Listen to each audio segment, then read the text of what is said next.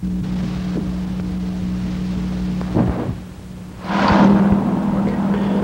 right, we'll just talk for a while tonight. With emphasis on self-questioning. I wonder how much, or if at all, you have actually questioned deeply, persistently, with a good deal of earnestness and a good deal of, of passion in it, whether you question your life here on earth, question yourself, what you are all about, what, what's it all about, the whole thing, what's it all about? Because we don't seem to know. And every time we find an answer, it turns out to be no answer at all, no solution at all. So, can we ask ourselves tonight the question, do I really understand total life? Do I, do I or don't I? If I don't understand what it's all about, that puts me in a, a different position than I've ever had before. Totally different position. Because up until this point of saying that I don't understand, I've lived by hundreds of assumptions, of what I've called convictions of beliefs. And up to this point, I've never questioned them. So now I'm going to start. And I'm going to start by asking an, enormously important, particular, specific question. I'm going to start start with that. Question being, do I have a life of my own? Do I really have a life of my own? Do I have any idea of, what's involved in the question? What does it mean to have a life of my own? It's very easy to say it. Do I understand the depths of the question itself? And can I start? I could start if I could see enough by seeing something that I'd heard in religious phrases, maybe heard it in church many times, but never understood it, couldn't apply it, didn't know what it meant. But I could see, perhaps, this. When I have no life of my own, then I have a life of my own. What on earth does that mean? Now you examine the way you live today. You just examine it from the time you got up this morning. And you see what you called your life today.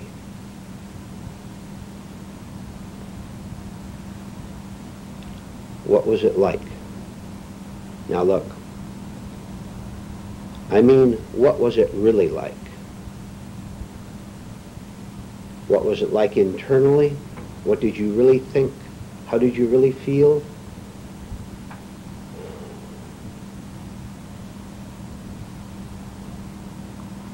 Have you ever been shocked at all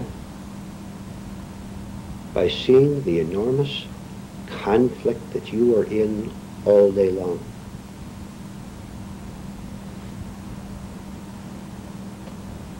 At the present, this is the life that is your own. Right?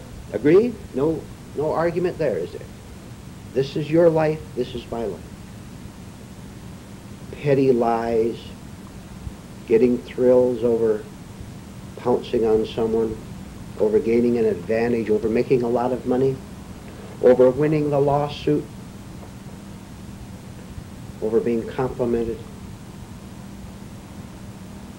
And all the time, very nervous about it and very tense. And hoping for someone or something to come to my rescue. Look, this is my actual life. I don't care how often I go to church or how many inspirational books I read, how religious I am, how active I am in the business world, how important I am in society's eyes. My personal inner life is a terror.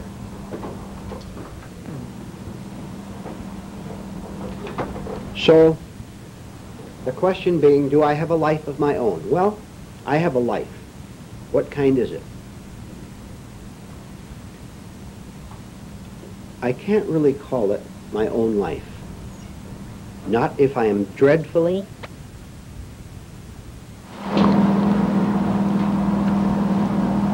All right. You want a life of your own? This is what you have. Hoping that someone will be pleased with you. This is the life you have. The question is, do I want a life of my own that I don't have to, listen, that I don't have to call my own?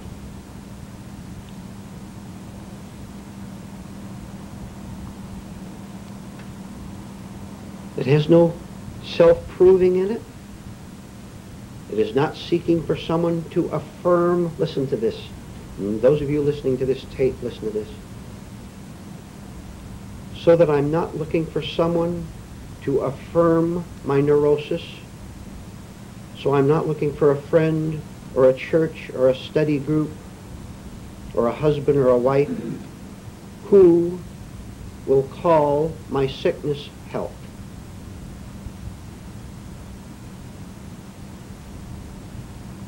Because calling my sickness help leaves me sick.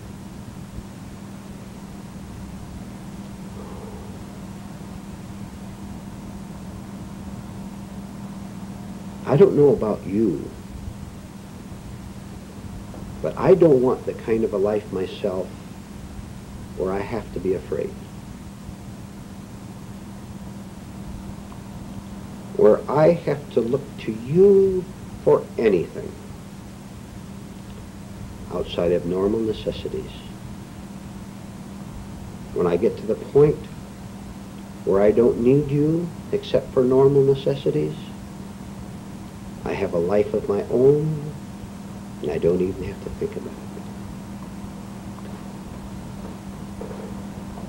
It's because I think about it and try to prove it that I'm in the squirrel cage, that I have to keep running, that I have to wonder whether I should phone you or shouldn't I phone you. Should I write the letter or shouldn't I write the letter? Should I get married or should I get divorced? Should I move to another city should I stay here?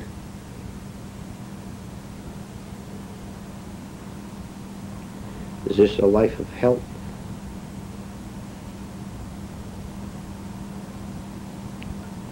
I, I wonder if one of you in this room understands why we're here in this class. We're here to destroy what we have called our spiritual life, our so-called good life, our exciting life, our peaceful life, our secure life, to blow it up. Because all we're blowing up is the artificial, that which has made me afraid of death, and afraid of life.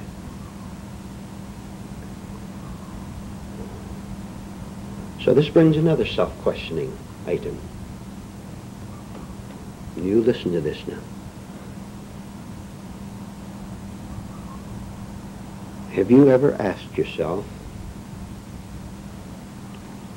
one, what it means to actually change being the kind of a human being you are.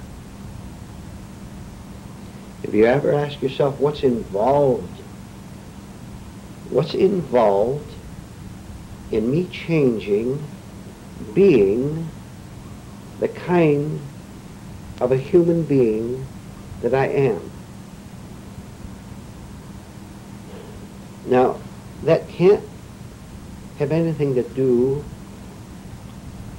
with moving to another city or getting a wife or getting rid of a wife or winning the lawsuit or phoning someone to talk to when I'm lonely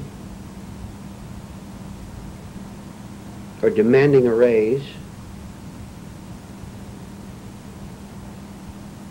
It can't mean these things because this has been my life up until now and I'm still terrified. It can't mean depending on my wife to talk to and to listen when I complain about how badly the boss treated me or how the world has treated me or the wife complaining to the husband. And it sure can't mean having power over other people in any way. Because at one time in my life, I had authority over others, human level authority. I was the sergeant in the army, or I was boss of the factory, or I was the parent of those children. I was a school teacher. I was the boss out in the field there. Good heavens.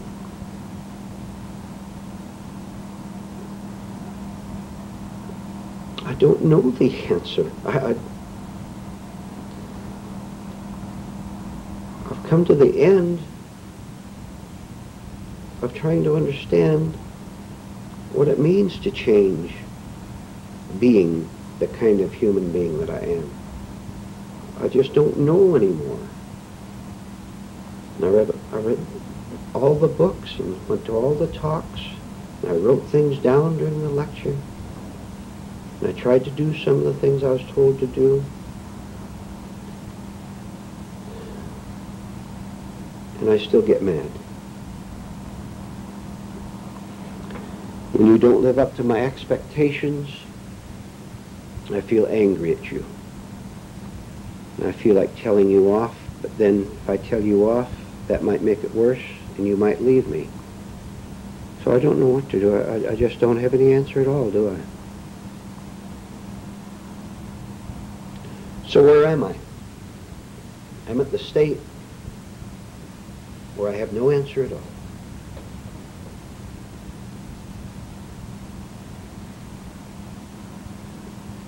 If I'm getting intelligent, I am. I don't know the answer to feeling secure. I just don't know it.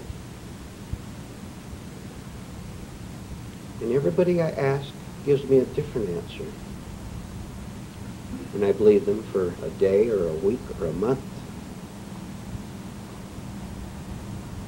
But you know, you know, there's something in me, thank heaven,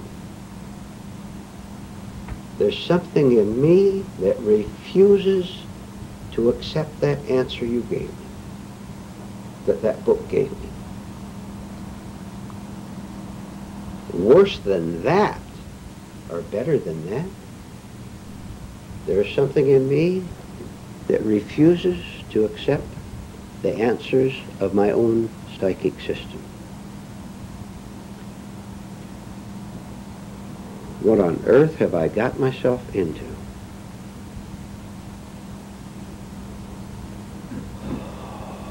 Boy, I'll tell you. This is scary, isn't it? I hope, I hope it is. I hope you're conscious of the fright of this state.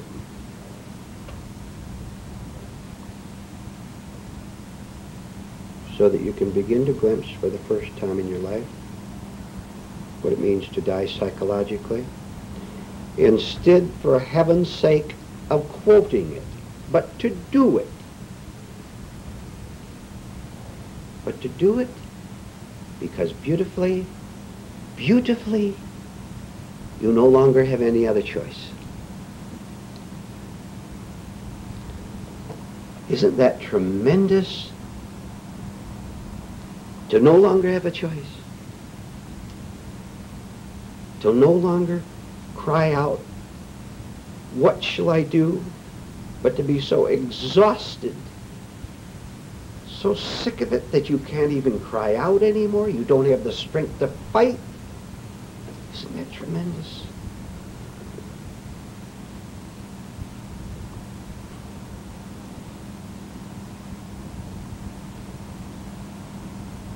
By remaining in this state, this small beam of light that has been trying to break through our sickness and our neurosis and our lies and our stubbornness, the light breaks through for the first time.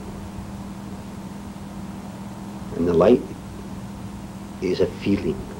It's a sensing. Totally unlike anything you've ever sensed before. And you don't think about it at all. You don't think about it. You know why you don't think about it anymore? Because thought, right thought, has done its proper work. And it has come to an end because you've seen the fallacy of trying to think, imagine your way out. You see that any labels you have put on yourself must go. And when all label goes, all when all labels go, who are you? You tell me. When all your labels go, all your imaginations about yourself go, who are you? You won't be able to say, will you? Because if you say it, you've added the label. So the free state, the state that is not of my neurosis, my former sickness, is a state that is free of thinking about it. A state where all hope has been abandoned.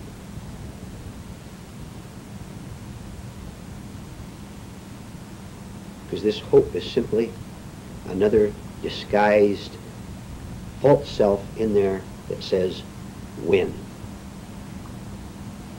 When. When I get this.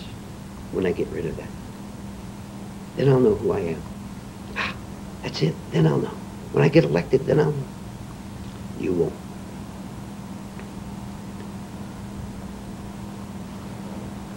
So we have another question, a third main question.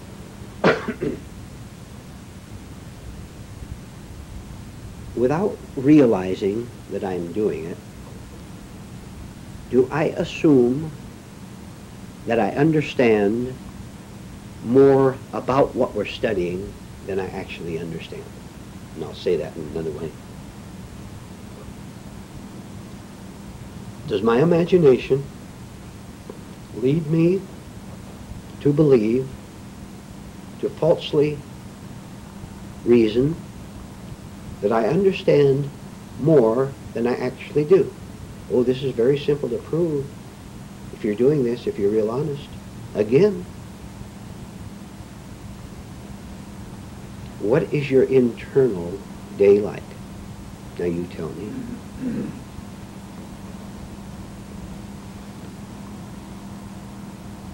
That could be a clue as to whether we're making false assumptions, thinking that we understand more than we actually do, and I'll give you a specific example.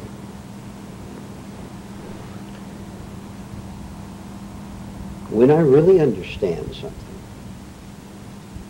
when I really understand what love is, when I understand what conscience is, when I understand what understanding is, when I see, then, then, this understanding can use the word love. This understanding can use the word understanding, always.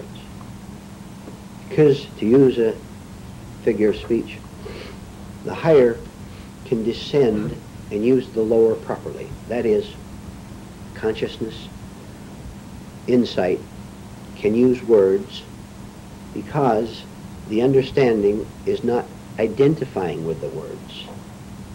The understanding is not identifying with the words. That is, when a free mind says, I love, I love, the I is not personal, is it?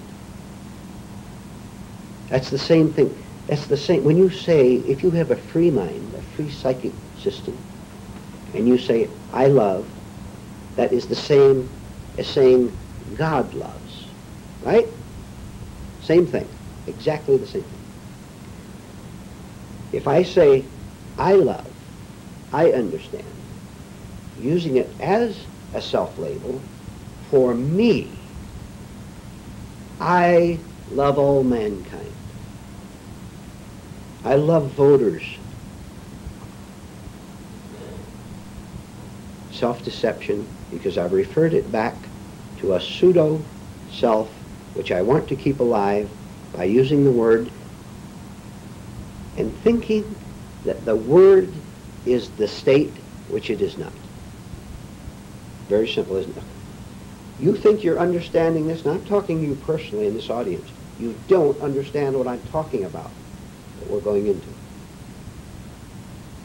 When you say the word love, you say the word love. Now, you say it. Is that word love that came from your mouth your state?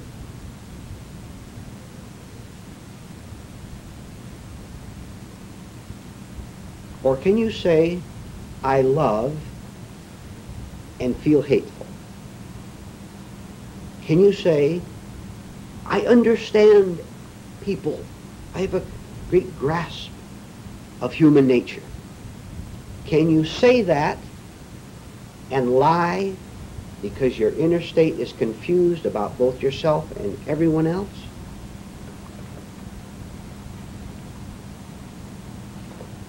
Can I see the word is not the state and can I have the courage to stop using words as if they describe me? Which will shock the life out of you. Shock false life out of you, or me. Or am I going to continue to blithely toss out sermons and advice and counsel to both other people and to myself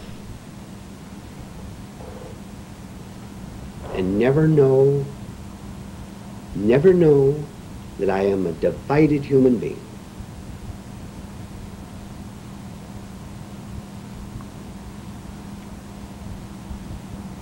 What would happen, what do you suppose would happen if you stopped using words such as I love, I understand, I care, I am considerate of other people?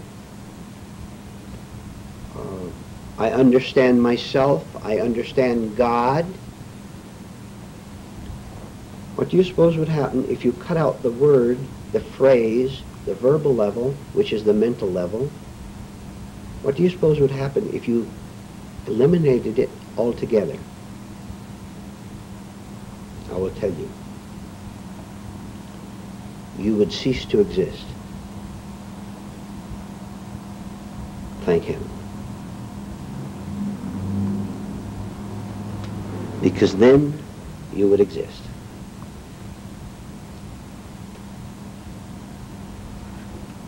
Without effort.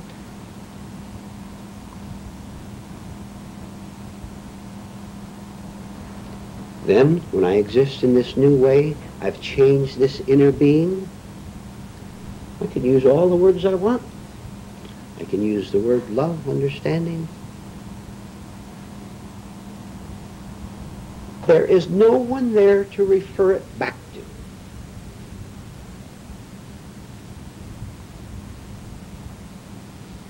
Which is oneness with God.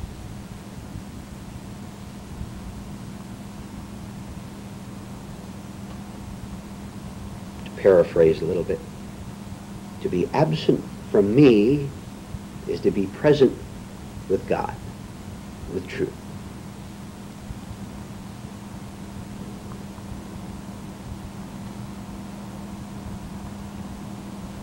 Finally, real encouraging. Regardless of how any of us in this room or any of you listening to this tape have lived in the last week internally, and you know how bad it's been, don't you? You know how afraid you are, don't you? You're getting a little more honest about that, aren't you? Regardless of how bad it has been, I'm going to tell you something. God, truth, reality exists. Maybe you didn't know before tonight that God really exists. I'm telling you. Truth, capital T, exists. Not as a word to toss around, but as a fact. We're going to go beyond the word, and guess what? You, me, we're going to go beyond the word to be the fact.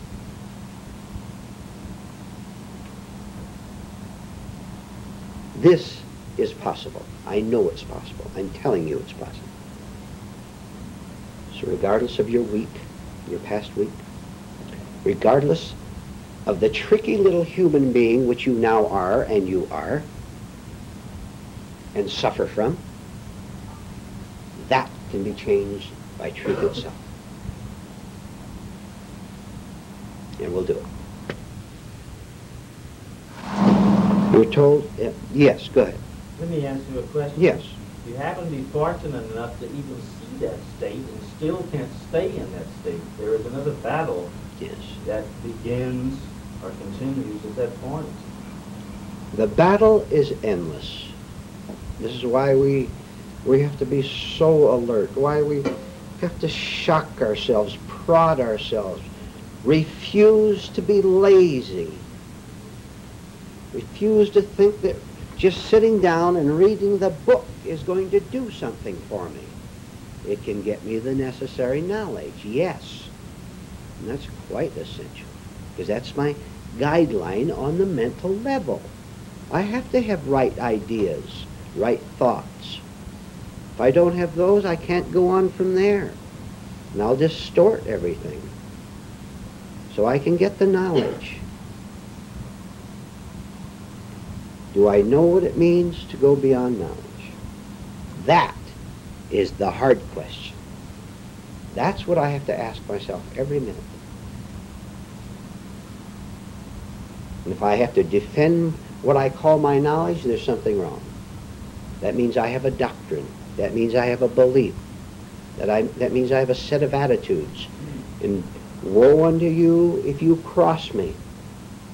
Right? Do you, do you really think truth needs defense? You're defending your religious doctrine, calling it truth? You're deceiving yourself. And you have no conscience. Do you know what you're doing to everybody you meet? When you call your religious doctrines, your religious beliefs, the road to God, well, I could get stronger, but I won't tonight. You might not be able to take it. I'll just repeat. For heaven's sake, man, woman, what are you doing to yourself that you're passing on to your children? To that husband you claim to love, to that wife you claim to love. To those other people you claim to like.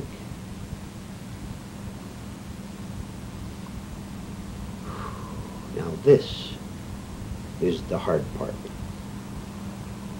Because you know,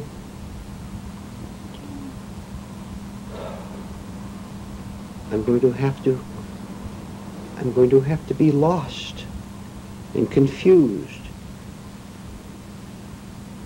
and cry out for answers, knowing, knowing that I, I can't answer them myself. And I'll have to get emotional about it. And I'll have to stay there, and I'll have to struggle and fight. And I'm going to have to say, God help me. I'm not going to lie anymore. If it puts an end to me, I'm not going to lie anymore. And that, that honesty is what puts an end to me. Now I don't suffer anymore.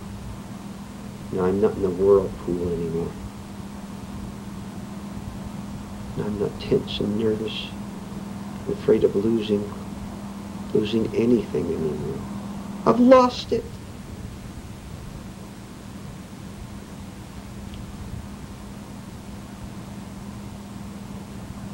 Aren't you glad that there's a way out? What would you do if you didn't know that there's a way out?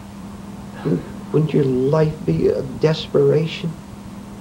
You, you wouldn't it be terrible to have to cram your mind with a schedule? Boy, tomorrow night we're going to the movie. I, I hear it's a big hit. Everybody's going to. We're going to the movie. We're going to dinner first. Then we're going to the movie. Then we get home, we'll be tired, and so we go to bed. So I, good. So bed is good too. Sleeping is good. It'll keep me from facing. And when I get up, I'll go to work. Thank heaven that I, I have that hateful office work. At least it keeps me from thinking.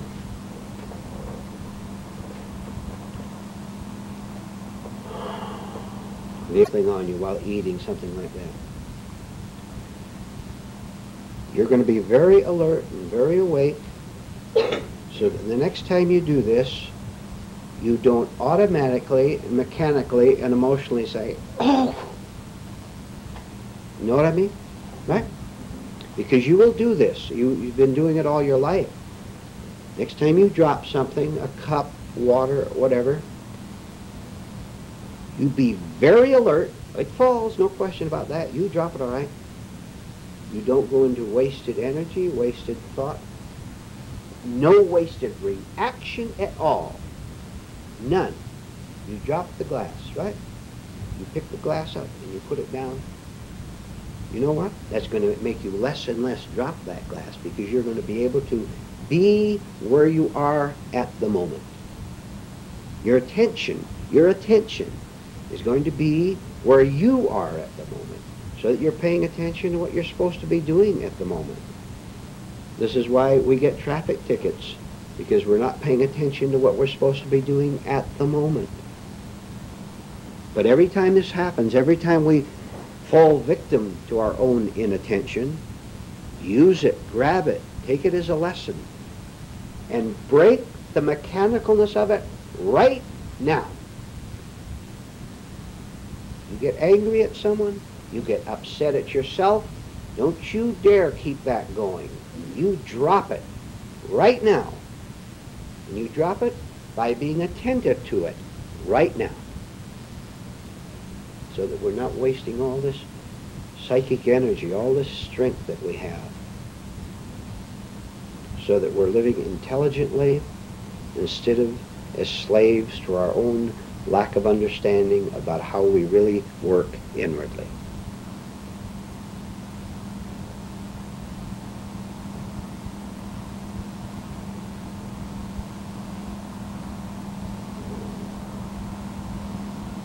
You can do this all by yourself.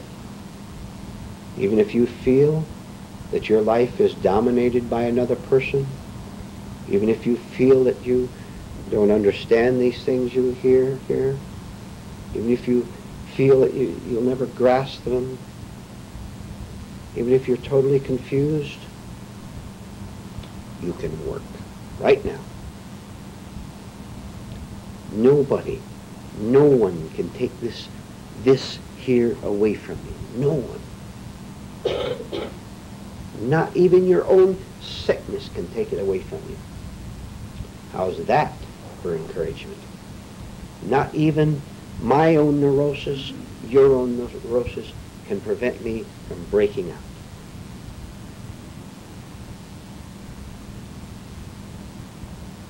This is what is known as authentic encouragement because it's based on truth, on fact.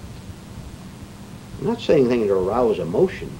When I tell you something that is true, right feeling goes with it.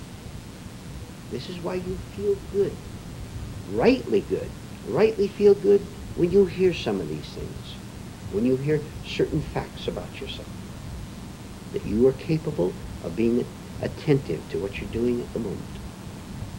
It makes you feel good because something in you senses that you have this somewhere hidden inside you.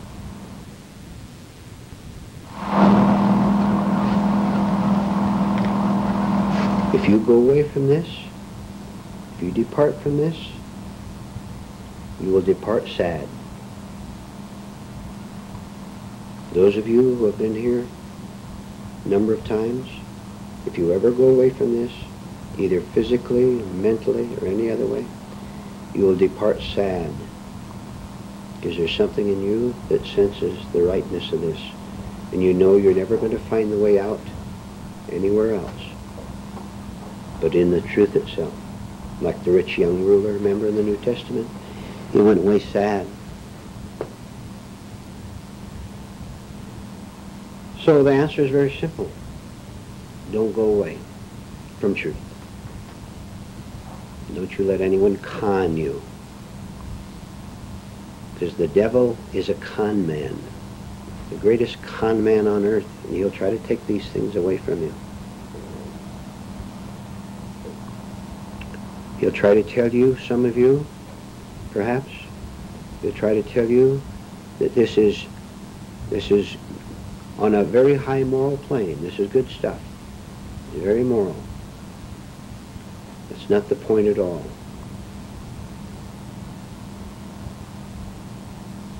The point is whether this truth that you have heard in this class tonight and other times is going to become yours.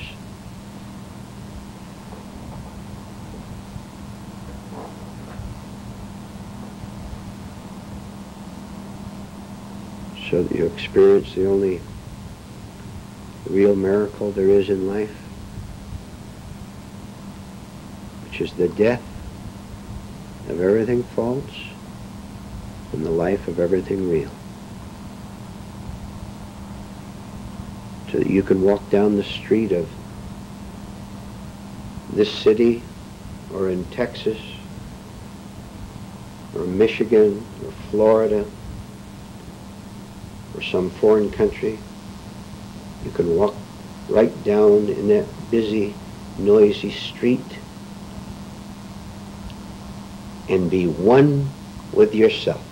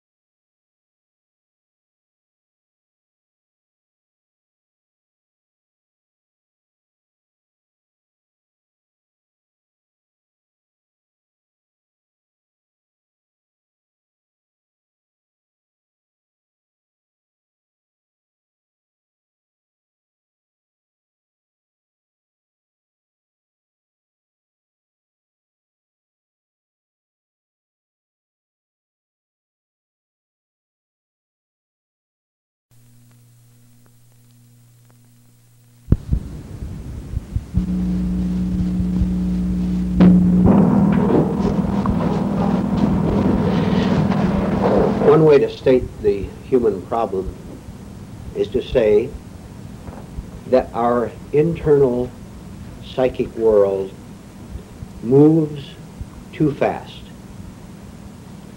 moves too impulsively, it moves recklessly, it moves without consciousness, it rolls forward, and since we are this world, we roll forward without being aware of what is going on inside our own self as it relates to ourself and it relate, as it relates to the outer world.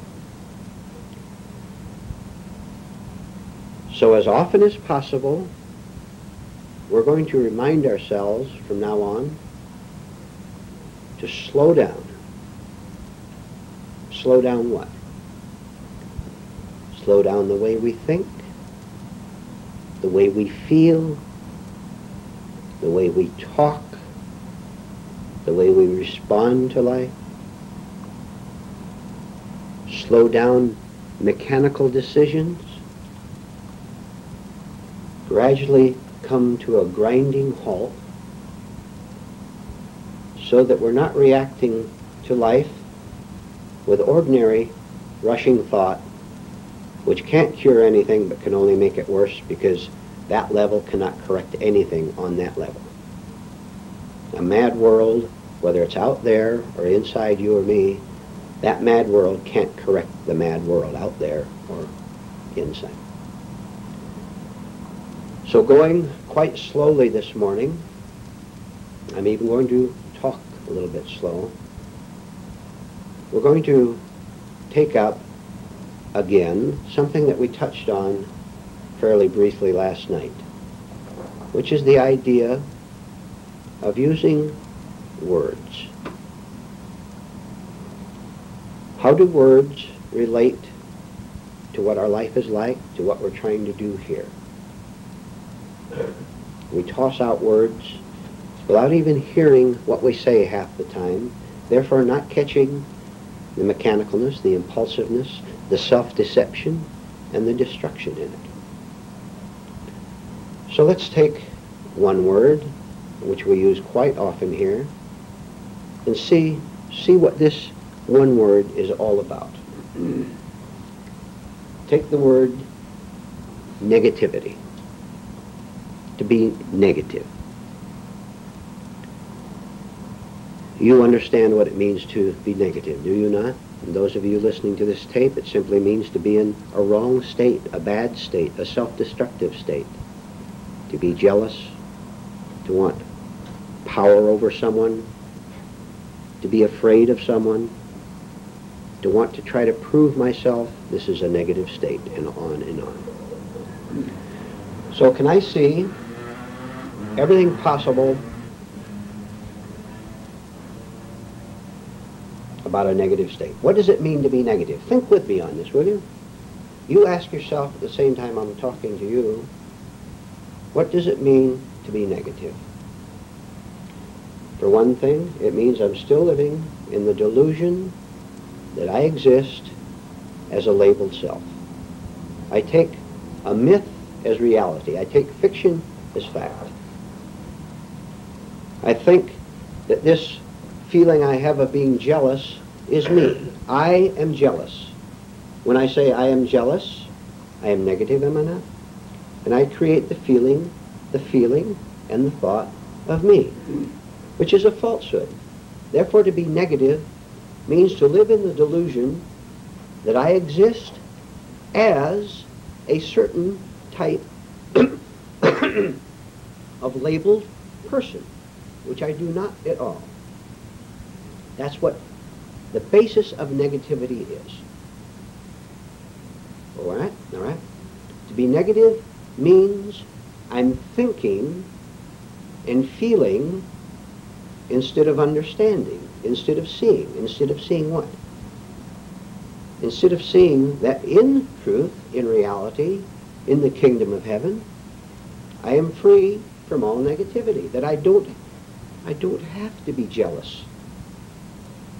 If I'm not there, which I am not in reality, how can I be jealous of you? How can I be How can I be angry at you? I noticed your faces this morning and last night, those of you here, and I noticed how depressed some of you are. Are you aware of sitting here with a defeated, depressed look on your face? How about depression as a negative state? What can we, to be more specific, what can we learn about being depressed? Let me see the hands of those of you who get depressed, despondent. Yeah. Many hands went up, and those of you listening to this tape are also depressed. Whether you are aware of it or not, you might cover it up in various ways, but you can't really hide it from yourself, can you? What is depression? Many things. First of all, this is sort of a repetition and very good to understand, depression is pure vanity. When you're depressed, you're an egotist. What is an egotist? An egotist is someone who lives by the word, by the word I, me, self. My interests, my security, my career.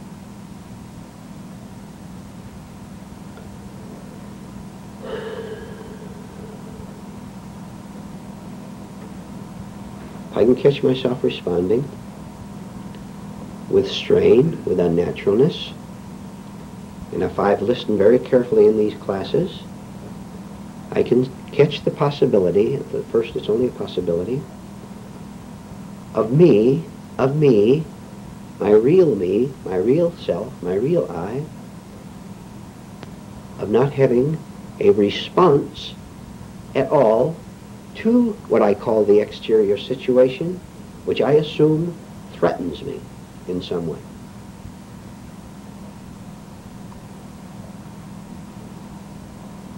Then, instead of being in the flooding river, caught in it, carried away by it, I'm standing on the bank observing the rushing river. No longer being part of it.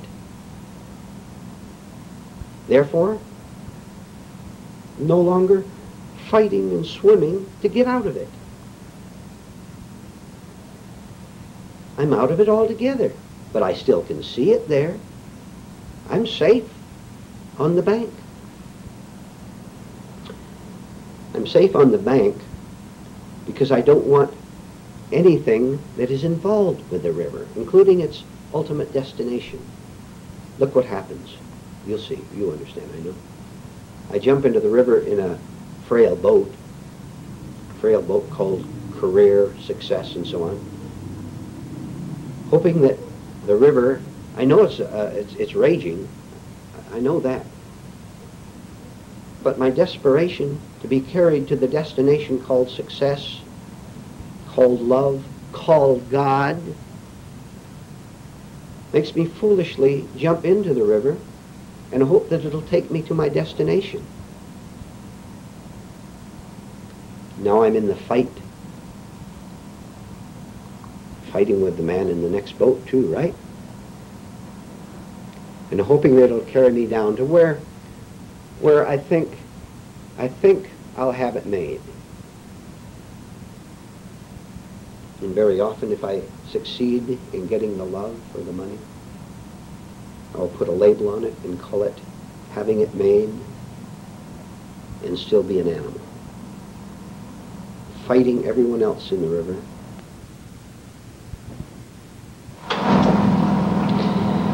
Now, what part of me likes the fight,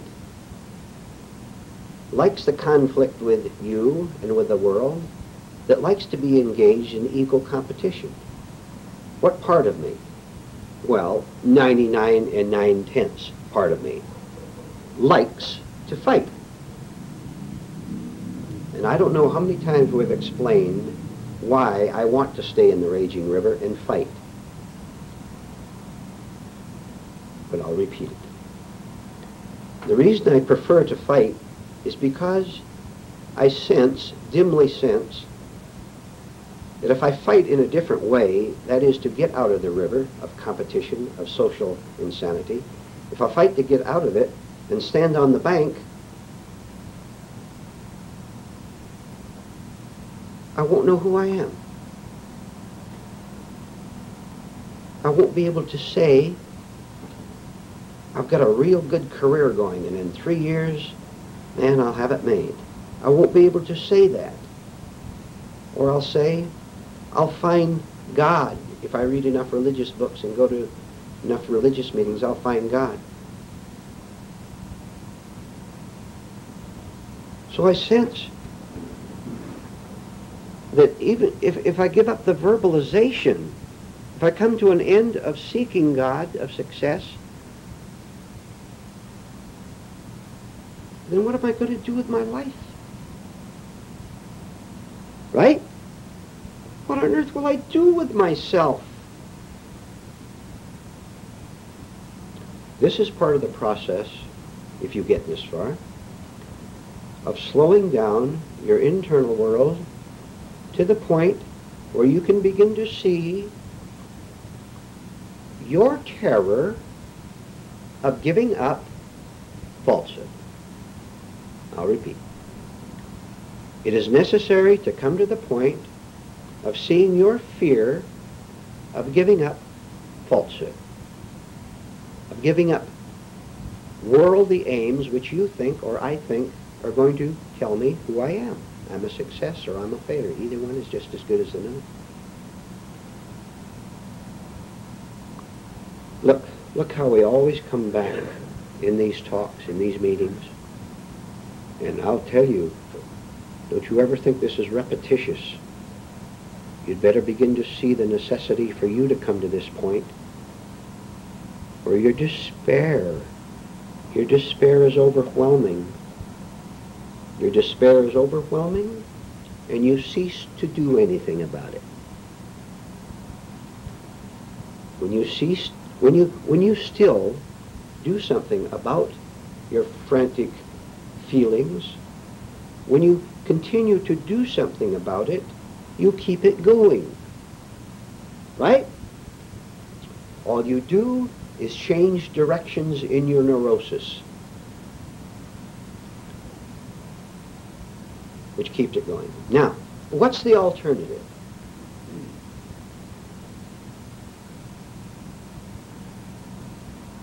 The alternative is to get every ounce of courage I have get it together based on knowledge partly, but based mostly on a willingness to exchange what I know for something I don't know. Don't you ever assume that you know what it is like to stand on the bank and look at the raging river because you don't know. If you knew, you would be on the bank instead of in the river, but you would not be thinking about it. You would be the bank itself. You would be the bank itself.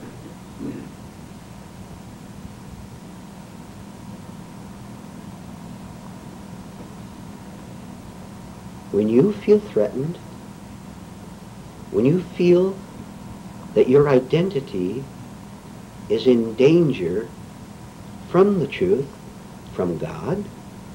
Can you simply understand the whole process and resist not what you call evil so that the fear of dying, so that the fear of dying is seen by you as a false move in itself. I'll repeat. Can you see, can you see that the terror of being no one, of not having these exciting aims and goals, that the fear itself is a hoax played on you by your own misunderstanding and deluded mind. if I, if I can glimpse this, then, and I'll use the word deliberately this time, if I can see this, then it becomes easier, not easy, but easier for me, now I'll use two words you've heard many times, it becomes easier for me to let go.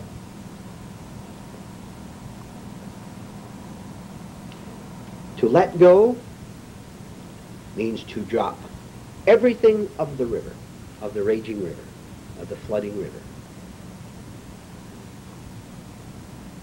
Including, and get this, including my desperate cry, how can I get out of the river? How can I get out of this mess?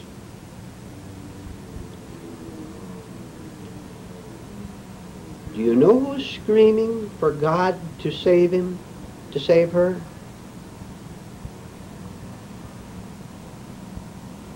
A mechanical force. Not you at all.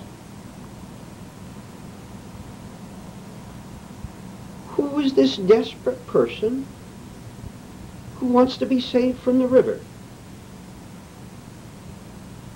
Who is this, this this frantic individual who wants God or Christ to save him.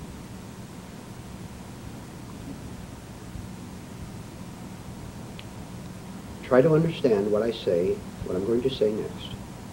Put it all together, what we're talking about.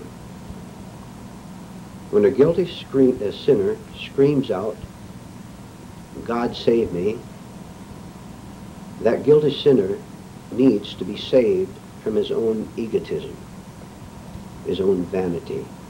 And if he can do that, he will never again cry out for God or Christ to save him, at which point he will be saved. Do you understand this? Yes? No? All right, I'll ask you again. Change it a little bit. When you have a problem in everyday life, We'll bring it down to everyday life. When you have a problem in everyday life, in a human relationship, for example, should I leave this person or should I go toward him? How am I going, how am I going to handle my relatives? What should I do about my wife, my alcoholic husband, or my neurotic wife? What am I going to do about it? How can I handle it? Now you listen very carefully to what I'm going to say next.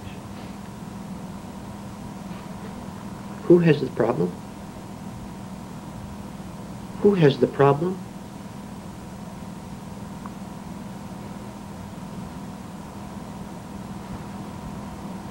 Why do you why do you ask how am how am I going to solve this problem? Why don't you find out who is asking the question, dissolve that, then see whether there's a problem anymore. There will not be a problem at all. I am the problem. And out of this false sense of self comes hundreds of perplexities, of frantic seeking of wrong questions. Out of this single falsehood, right, arises thousands of false questions, of frantic running around to find answers. And look, look, you'll agree with me on this if you're real honest. You haven't found the answers, have you? Have you? And somehow you're terrified that you never will. And I will tell you, you never will.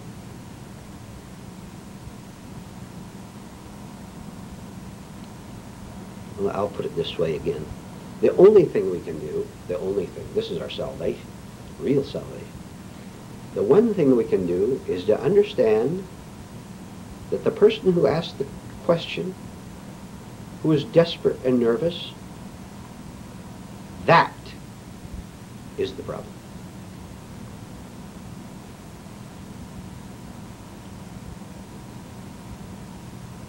Oh,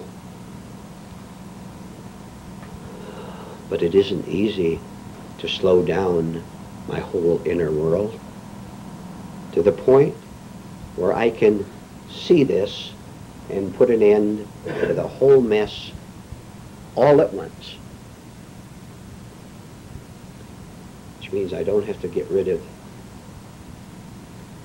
one little exterior difficulty at a time, but by clearing the inner, the outer becomes just as clear. Because I've ceased, I have ceased to create the problem in the first place. And how did I cease to doing to do it? By not being me anymore.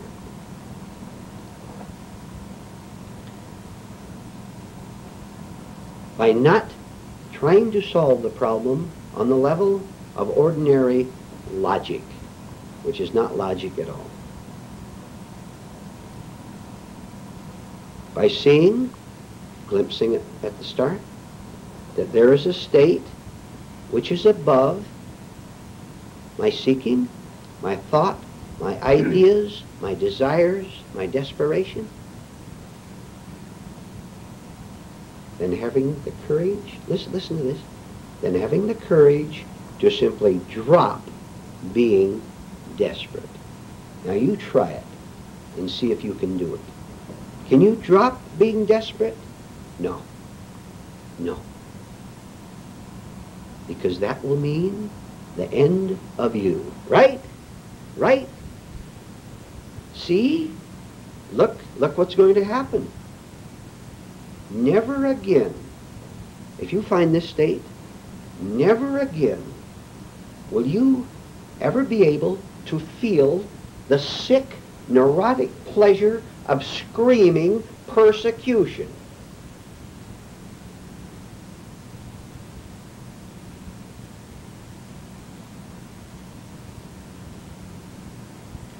never again would you or me ever be able to cry and feel sorry for myself.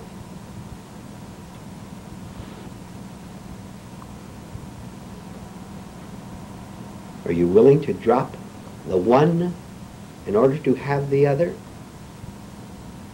Or are you too terrified at giving up your pettiness, your resentment, your great plans for being somebody in this world and showing them.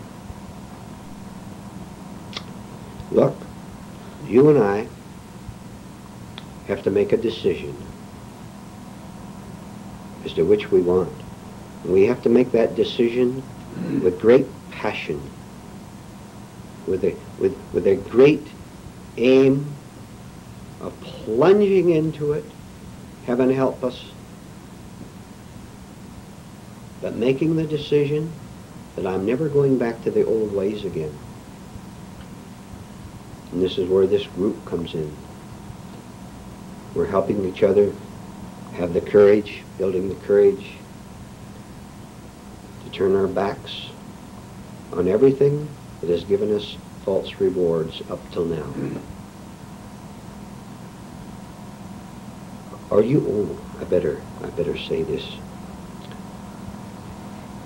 Are you willing to give up hating someone? Oh, you don't hate anyone. Oh, yes, you do. And you know it. Now, now I can go on to the question again. Are you willing to give up the thrill, the ego thrill, the sick, neurotic, psychopathic thrill of hatred? If so, you have given yourself an opportunity. If not, well, well, you'll have to live with yourself. Maybe I better ask that too. Uh, those of you listening to this tape included, will you please answer the following question? What is it like living with me? What's it like living with yourself? Pretty awful, isn't it? Here, here in this group, we can change it. It can actually be done. We can do it. All right. Now,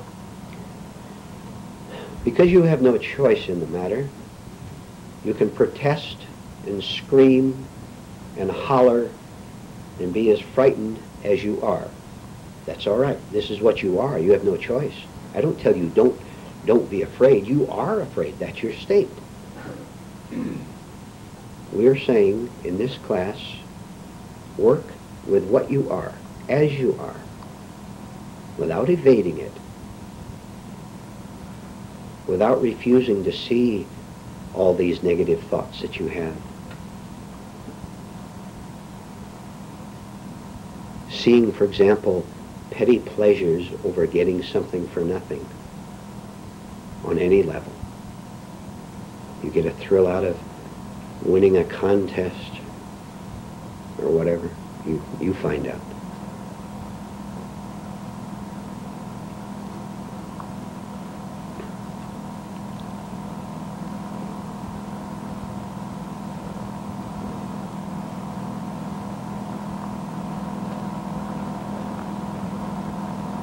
You are not conscious, you are not conscious of how scared you really are. So can you work on that?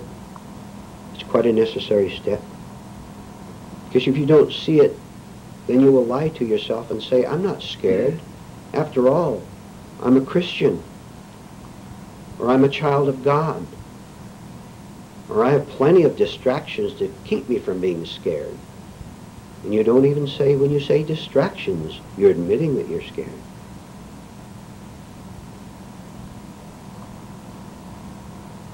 Shall we all, shall we all agree to plunge right into the middle of this horrible mess called myself, right into the middle of it, and not be ashamed not be afraid. And that means another way now. But do it.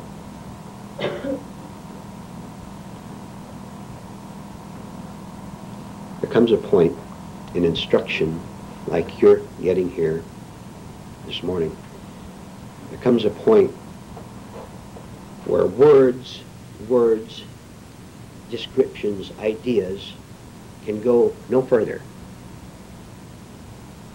And several times during this talk, I have come to this point, which means that something else other than words, yours or mine, have to take over, something that is higher than thought, than description. This is our, is our opportunity to drop thought and in its place to see, to understand.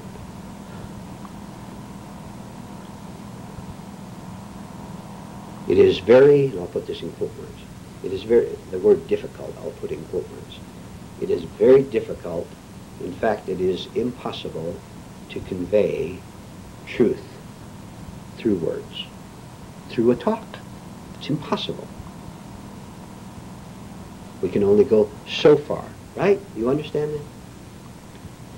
And where my words leave off and your words, which is thinking, leads off, leaves off, Something else can take its place. This, this is really what we're trying to do in this group. So I can see the difference between thinking about a fact, thinking about it, and seeing it, seeing it.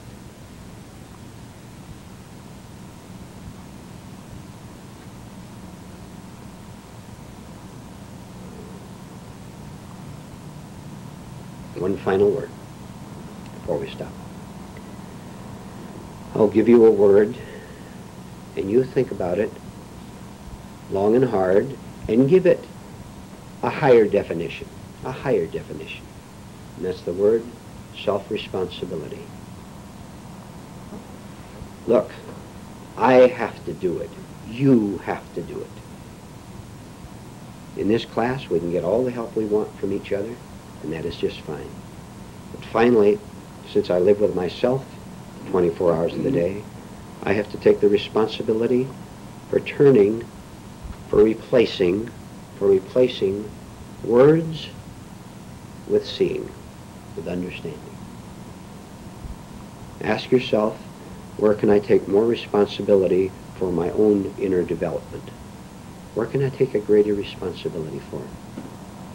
Which means every time you do take a responsibility, you'll receive a minor jolt.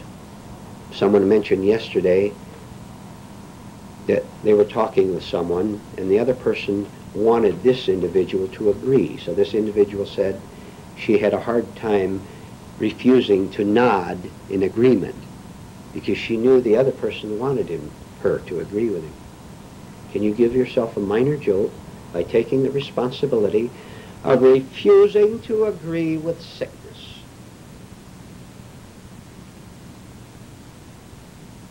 Refusing to go along with neurosis because you want something from the other person. Stop wanting it and see how easy life becomes.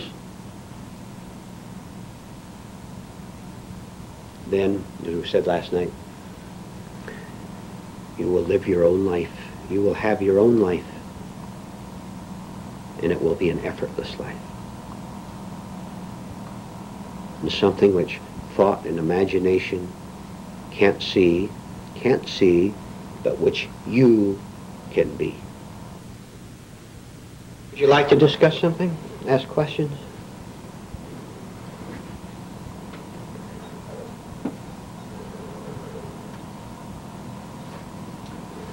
I get a feeling when I'm trying to put the work, uh, trying to work with the work. I get a feeling that I'm just doing it from imitation all the time. And it seems to have been my life, you know, religion from religion. You know, you do this and you get, you'll get this, you know. Right. Yes, that's what organized religion is, simply one man imitating another. You can see it in a, a large mass meeting, can't you? The leader says, raise your right hand and pray. Everybody raise the right hand and pray. Imitation. Thinking, thinking that you're doing something from yourself. Only God, truth, can do something from himself. The rest is sham. The rest is me. Which does not discount individuality on the everyday level. You like peach pie, your neighbor likes apple pie. Individual choice. Where's the problem? No problem.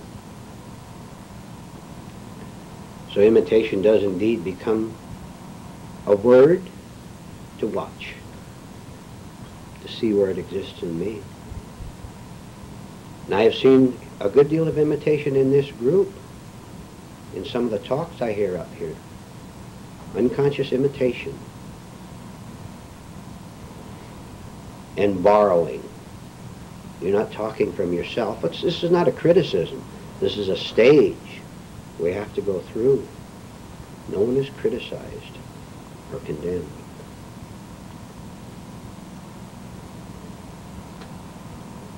But I can watch myself.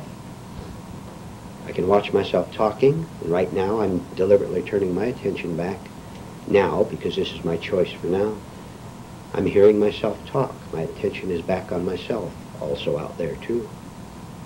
If I can pay attention to myself while I'm giving a talk or asking a question, I can begin to detect imitation, a compulsive need to talk.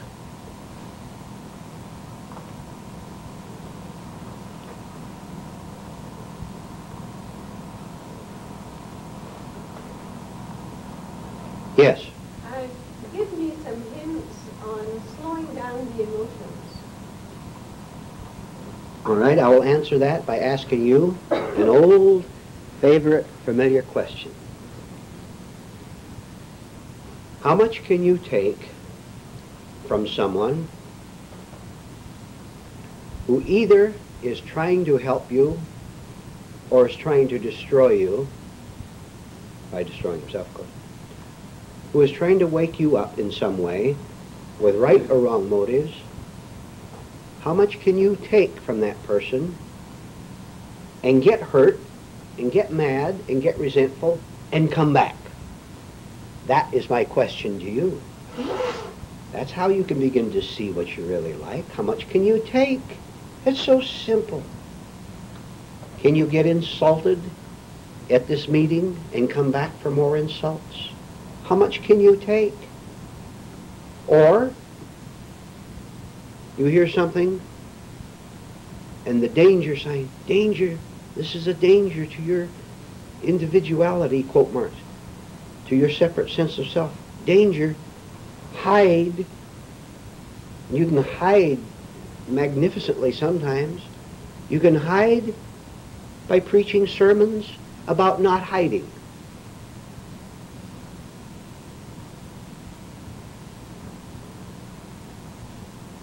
Can I stand in fear and trembling before anything that happens to me out in that world? Do I, I get fired or I lose my money? Or, or you catch me behaving badly when I'm off guard? Ooh, that's especially valuable, by the way. Isn't that shocking to be caught out of a role? Isn't that awful? Ah, you're all smiling. I heard the voice. Oh. Isn't that good? Because it's so humiliating. This is what we're after. And I come right back. You know what I say? Among other, many other things, depending on your own individual work. Okay, you caught me, what? You caught me smoking a cigarette, and I paraded around as a non-smoker and didn't talk too close to you lest you smell my breath in class. You, know, you get your own example. You caught me smoking, and I throw it out quick, and you saw my hand anyway. I go home. I work on that. Now, very seriously. I refuse absolutely and positively to be carried away by the sense of shame of being caught out of my role. I am not going to go into that and let it carry me over and say, oh, I have to face him tomorrow. I'm going to see something tremendous. I wish I could tell you, but I can't. That at the moment I feel this humiliation, this shame, I can break the mechanical feeling, the mechanical reaction. I can drop it and be new right now. Which means I'm going to have to drop the false feeling of life I get out of being humiliated. They caught me. They caught me. That's the important. They caught me. Do you understand? Will you give yourself this enormous jolt of dropping your shame right now? See it and refuse to go along with it because it is giving you a false feeling of individuality. I'm a shame, I'm a shameful person. You, you are an egotist when you say that. You're not being humble. You're saying you're somebody and you're not. You're nobody, and neither am I, which is our liberty. Yes. You said how good it would feel if we were ever told by a friend what they really thought of us, and I had that happen to me. We told this couple that we wouldn't play bridge with them anymore. Which pushed me into a corner until finally I explained that I just didn't care to play bridge anymore, and etc. Well, actually thought about it for a few days. She told me what she thought of it. Enumerated in detail everything. Okay. And afterwards, yes, at that moment, the shock is so great because this, well, it was with me because she was the only woman friend I had. And then you work on it because you know it has to be there. They can't see things that aren't there. And I had to work doubly hard because I had to pass their house every time I went grocery shopping. And a lot of times they were out in the yard. So then I had to work Right. on the fear of Right. not turning away. And in time, I saw that whenever she recognized my car, she made a dash into the house. She really created a problem for herself. Well, you know that she isn't working, so nothing counts from that But end it really, because this, they lived there for five years, and I had to really, you know, Okay, fine, that brings up a, a good question. How many of you in this room, uh, forget everybody else in this room for the moment to keep it a clearer picture, how many of you in this room have either nice friends or nice relatives? May I see your hands? Only one person has nice friends and nice, nice relatives, uh-huh. I don't think I'll go any...